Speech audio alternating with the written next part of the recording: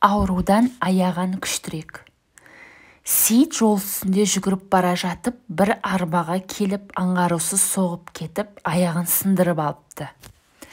Ойбайлап жылап жатқан баласын көріп шошынғаннан шешесі есінен танып қалыпты. Мұны көрген соң сейіт жыламақ түгіл сынған аяғын орнына салып таңып жатқанда да дыбысын шығармапты. Қабағын да шытпапты. Сонда сынықшы кісі. Аяғың ауырмай ма? Қабағың шытпайсың? деп сұрапты.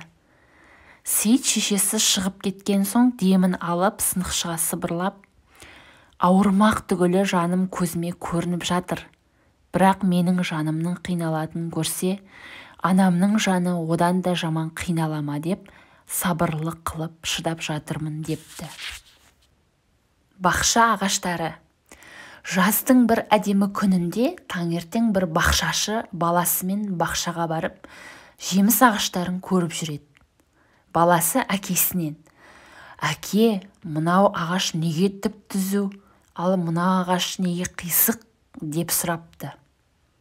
Сонда әкесі оның себебі балам анау ағашты күткен суарған қисық бұтақтарын кесіп тастап ертелі кеш тәрбиелеген.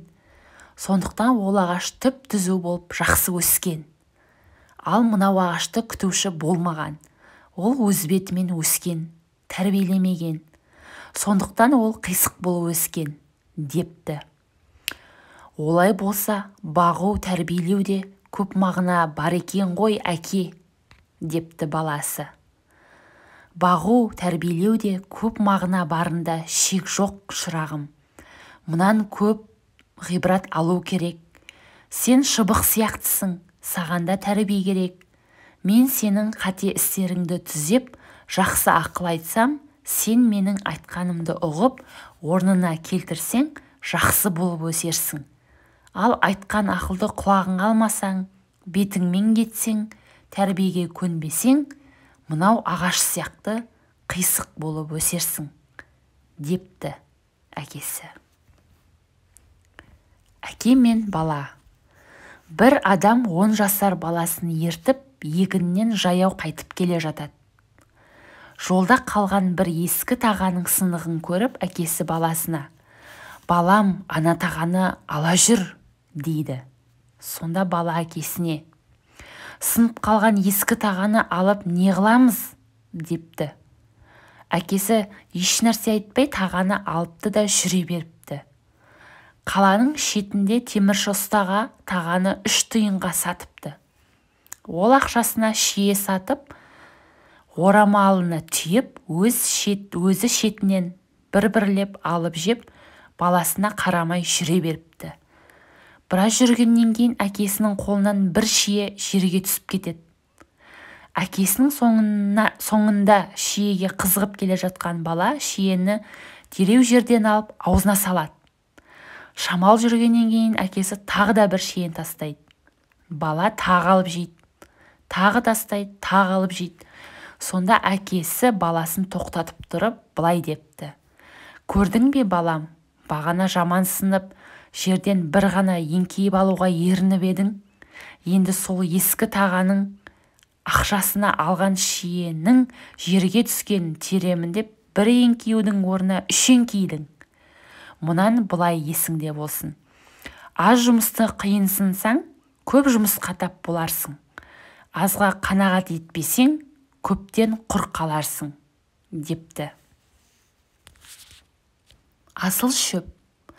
Зылиха мен батима деген біреудің екі қызы төбелеріне бір-бір жәшік жеміс көтеріп қалаға сатуға келе жатыпты. Зылиха аһлеп-үһлеп шаршадым деп жүре алмапты.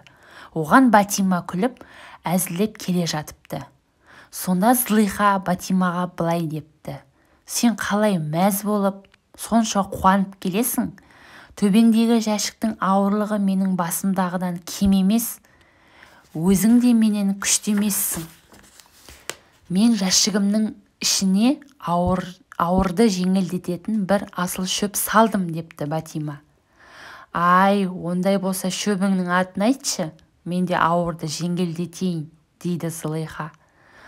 Ол шөп сенің қолыңа түспес деп қорқамын. Ал іздегің келсе ол шөптің аты қажырлы еңбек деген шөп депті бәтима әдептілік. Бір жұрттың үлкен бір оқымысты кісісі екінші бір елдің байымен сөйлесіп тұрғанда қасынан бір жарлы кісі өтіп бара жатып оқымыстыға иіліп сәлем береді.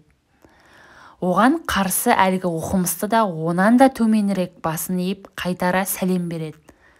Сонда қасындағы бай тұрып тақсыр осынша біліміңіз бар ғалымсыз сөйте тұра осындай бір бейшараға соншама бас иіп неге сәлем бердіңіз? деп сұрапты. Сонда ғалым кісі тұрып ешбір ғылым білім үйренбеген кісі сонша иіліп әдептілігін көрсеткенде мен оған әдепсіз болып көрінгенім лайықсыз болар болар еді депті.